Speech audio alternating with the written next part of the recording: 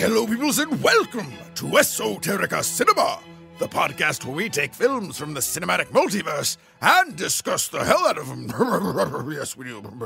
My name is Jason Peters, and I'm coming at you not with another patented five minute review, no, sorry, no. Today, we are going to discuss what makes cinema cinema. That's right, directorially, screenplay wise, all those other things that make movies movies on a little feature that I'm calling, pending a discussion with my co host Ryan, who is certain to tell me what a horrible, horrible idea this all is Esoterica Intelligentsia!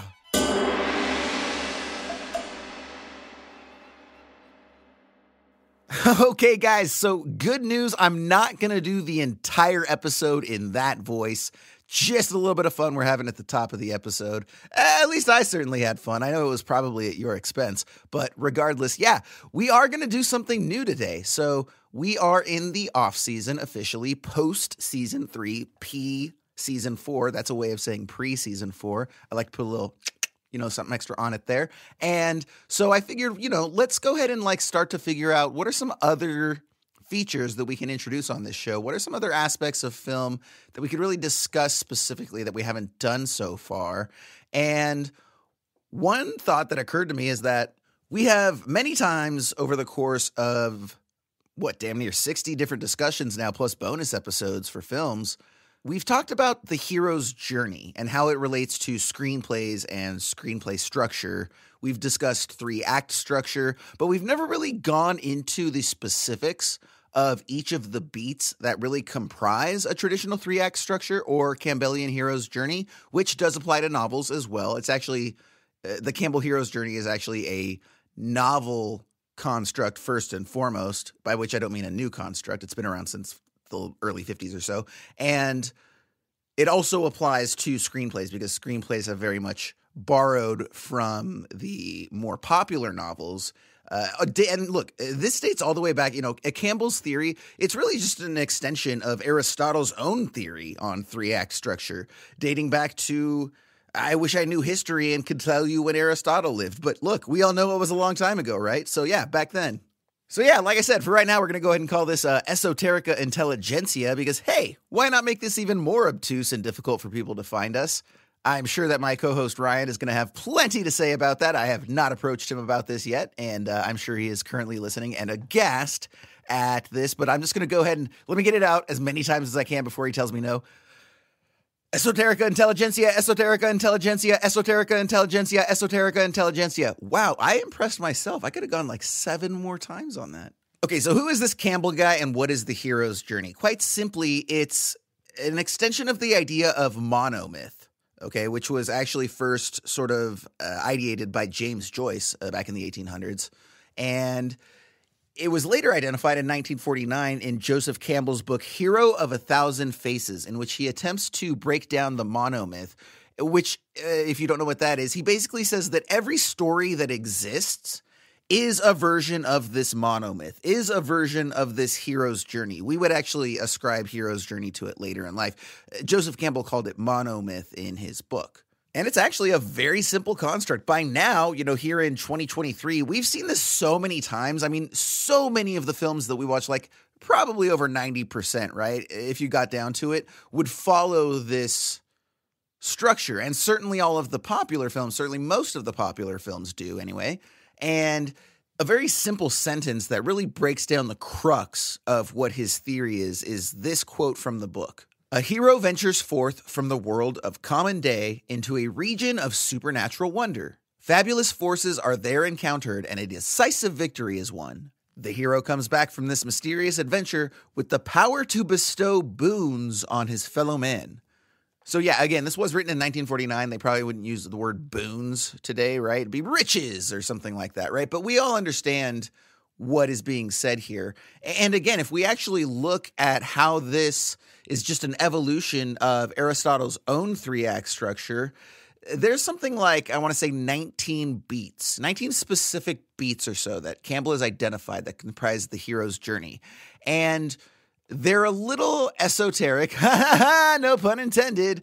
And so instead of using that to sort of take you on this journey, this hero's journey of what the hero's journey is, I'm actually going to go ahead and break down Aristotle's three act structure, just because it uses a little bit, believe it or not, despite being even older, it uses a little bit more simplified language, or at least the way that we have interpreted it over the years. And we're going to go ahead and we're going to go through these one by one so that you, the listener, can really get a sense of what each of these are. I'm going to go through them pretty quickly so that, you know, this doesn't turn into 45 minutes of just me going like, bro, and then this is an inciting incident and blah, blah, blah. And let's look back, right? That would get boring super quick. So we're going to go through it pretty quickly here. I'm going to identify each of them them. And we're going to use a popular film that all of us should be very familiar with. If you're not, shame on you because it's one of the greats. It's made billions of dollars, spawned multiple sequels, and that's the very first Jurassic Park, directed by Steven Spielberg, uh, based off of a screenplay from Michael Crichton, based off his own book,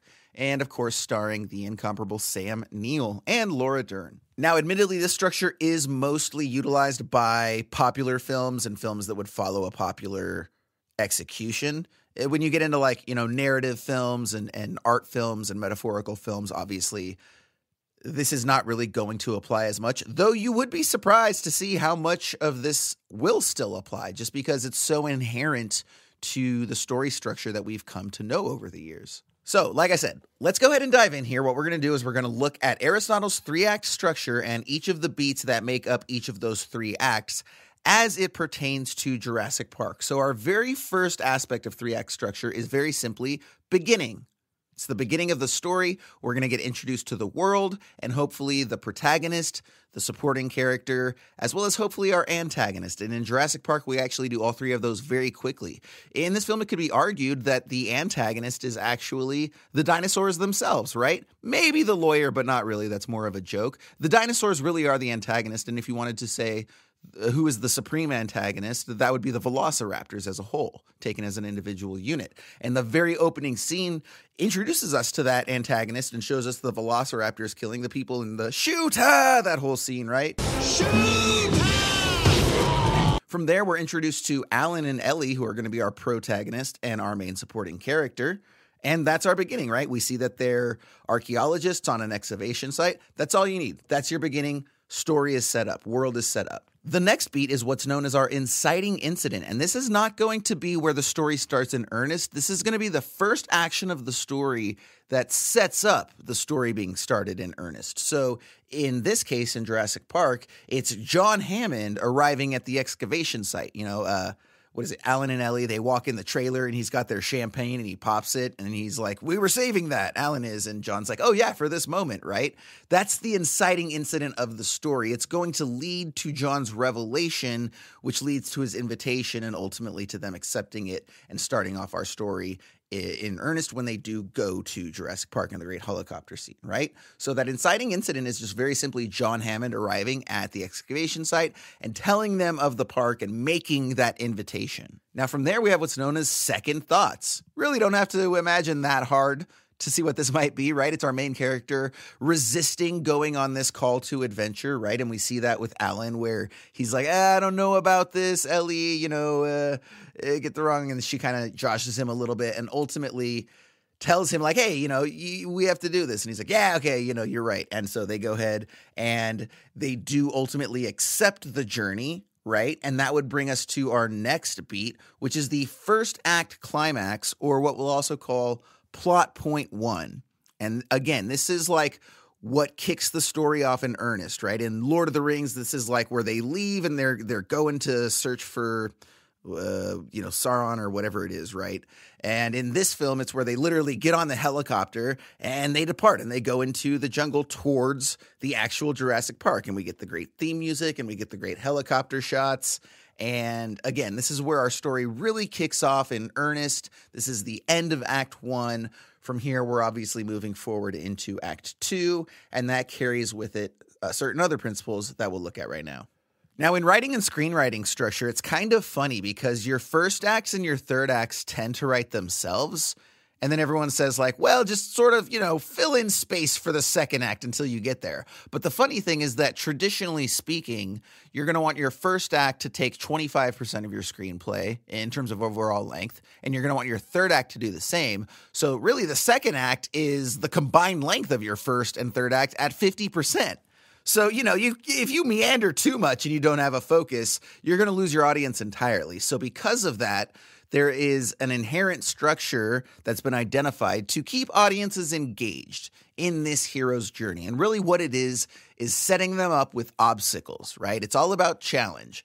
If our hero doesn't have to overcome anything, there's no stakes, there's no challenge, we're not interested. So, really, as a screenwriter, we're going to throw as many, or as an author, we're going to throw as many challenges at our protagonist as possible over the course of this second act. And this is, again, more popular structure though again you can you can just as easily apply this to dramatic structure where the obstacles have more to do with eh, relationships and very human emotions conflicting with one another right in this sense we're looking at Jurassic Park which is an adventure film and so it's going to be literal physical obstacles right in an adventure sort of mode but obstacles can look any number of ways so, very simply, after we get our plot point one, our next beat is going to be obstacle one. And we don't want to go too strong, right? We want to give ourselves room to escalate over the course of the story. So it's going to be a pretty low stakes obstacle. And in Jurassic Park, indeed it is, where very simply the tour doesn't go as planned, right? The obstacle is that John Hammond wants all of these dinosaurs and creatures to come out on this Jeep tour ride, and none of them do. And it's disappointing. And you know, there's an obstacle where he's trying to get them to come out, but they won't come out, and he's trying to lure them with food and all of this, right? And it's just not happening. And then, of course, that's when the kids and the adults get bored and they end up leaving, and we see the sick Triceratops. And then that's a great device to separate Ellie from the rest of the pack, which is what happens, right? But again, a really low stakes first obstacle so that we have room to grow. The second one, a little bit higher, our next beat is obstacle two again, Jurassic Park, very simply, we have a tropical storm approaching, right? And and that's just very simply the next obstacle. First, okay, the ride's not working, no big deal. Okay, next one, now a storm's coming in, uh, starting to rise, right? Already we're starting to see that rising tension come about. And this is going to set up later obstacles that are going to evolve off of one another. So you want ideally your obstacles to feed into one another so that they're constantly escalating and building like a like a set of stairs, right? Just constantly stepping up one to the other. And from there, and nope, you, you thought it was going to be obstacle three, right? Nope, not that easy. No, the next beat that we're going to have is what we're going to call our midpoint twist. Now, this can be something very dramatic that changes the nature of the story on its head, something like Fight Club, which doesn't really come in the middle of the film. It's probably about two thirds of the way through the film. But you will notice as you start to identify this structure that there's a lot of leeway. Screenwriters take a lot of leeway with regards to where a lot of these things come into play. And some films have very long first acts that'll actually take up like 50% of the script. The Matrix, for example, has an, has famously has like most of the film is actually a first act if you actually look at it from a story perspective. And then the third act climax in The Matrix is where Neo realizes his powers, which is like two minutes before credits roll. So there's a lot of leeway. This is just sort of like the template from which people can derive their own artistic expression from. But again, it's not that you have to follow this structure, but this structure works. And if you do follow it, you will have a film on your hand with a beginning, middle, and end. And sometimes that might sound trite, but oftentimes writing an effective story really is just as simple as making sure you have an effective beginning, middle, and end. So, what's the midpoint twist in Jurassic Park, you ask? It is when our friend Dennis Nedry, that's right, the scheming Dennis Nedry, who at the beginning was bribed by a corporate rival named Dodson. Dodson! Dodson! We've got Dodson here! Yep, yep, we've got Dodson here to cut power uh, to the park. Well, he was bribed by him to steal the dinosaur embryos. And then at this point in the film, what Nedry does in order to uh, achieve that is he cuts all of the power to the park. And so now, on top of everything else that's been going on, zero power in the park. This switches things up dramatically, right? Because this is going to set up our next obstacle we'll get to in just a moment. And again, in terms of staying within the confines of the story and the world and the structure we've created, but also flipping it on its head enough to really raise the stakes and make it interesting for the audience. This is a really effective way that they do that. So he cuts to the power to the park. Obviously, he books it in a jeep with the embryos. You know, he gets the the spit dinosaur kills him later, and uh, but yeah, in terms of that midpoint twist, again, cutting the power, changing and raising those stakes immediately. All of this leads to our next beat, which is yes, obstacle three. That's right. Our third obstacle, uh, paying attention to our rule of threes. Again, you can have seven obstacles, you can have 13. What you do in between these beats is completely up to you. And that's where the creativity comes into play. Some people think that, oh, if I follow this template, there's no room for creativity. Look, there's like, you know, 17 specific concepts that you have to hit and at no point is anyone dictating to you what any of these have to be so you know i would argue that there's still plenty of room plus all of the space in between these is yours as an artist to fill in so let's not forget that so what is the third obstacle in jurassic park well, with the electrified fences no longer active, T Rex and the other dinosaurs break loose. And of course, we get the all time great scene of the kids and Alan and Ian and all of them being attacked by T Rex in the Jeep, which still just holds up so perfectly. It's a beautiful, horrific scene. The next beat is actually our Act 2 climax, which would be considered our plot point 2. So there's still a lot of space to fill in between ob- Obstacle 3 and this second plot point. And this is where you're going to have sort of your final confrontation, or the story itself is going to kind of come to a climax. And in Jurassic Park, this would be where Hammond and our chief engineer Ray Arnold, hold on to your butts. Yep, the great Sam Jackson, have to reboot the park system, which they do, and and as well, Alan and the kids who are separated have to shut down the grid. And what does this do? This sets up the next beat which is going to be our disaster and crisis, right? Some some resources will separate disaster and crisis as two separate things. Really, disaster is the action that sets up the crisis, right? So if the disaster in this case is that the grid is shut down, it leads to the crisis, which is that the velociraptors are released, right? And, and that's where we are in this film, where that's the ultimate obstacle, right? The the last biggest baddest obstacle of all, the final boss if you will, right? That's where this comes into play with this, this disaster and crisis. And again, in this movie, it's the velociraptors. We were introduced to them at the beginning of the film as the primary antagonist. Therefore, they need to have that final confrontation, which is here and now at our disaster and crisis beat. Now, the next beat that sets up is our Act 3 climax, which is really ultimately the resolution of that disaster and crisis. So in Jurassic Park, it's with the power restored. Alan and the kids try to escape through the main entrance, but they're cornered by velociraptors, right?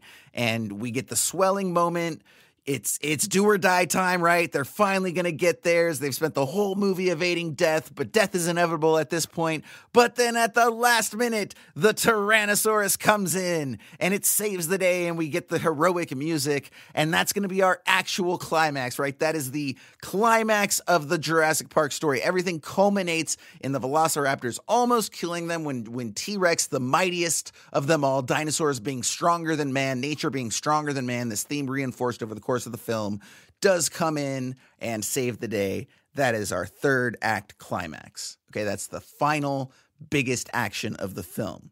From there, we're into our third act and we're simply winding down. So, our third acts tend to be very short. In, in, dramatic films, they will be much more drawn out. What you'll see is that in action films, certain sci fi films, the third act can often be very truncated and it's just because, you know, we're here for action, and usually after that climax, there's no more room for action. So, in an action film, the third act, you know, we're going to want to get out of there pretty quick. So, uh, we're not going to see a lot of characters, what they learned, how their lives were affected down the road. That's really more of a dramatic device. But either way, the next beat is going to be descending action, right? Bringing things back down for the audience. So in this case, Hammond arrives in his Jeep with Malcolm and he picks up Ian and the kids. We know that they're safe. Everyone's being brought back together. Our tension is coming back down. And then from there, we go into our final beat, which is the wrap up and resolution. In this case, just very simply, the entire group of people that were on the island having to escape with their lives. They finally do. They board the helicopter and they leave the island. That's the resolution. They they won, they escaped with their lives, they leave and then we get our ending, the final beat that wraps up the entire three-act structure and hero's journey.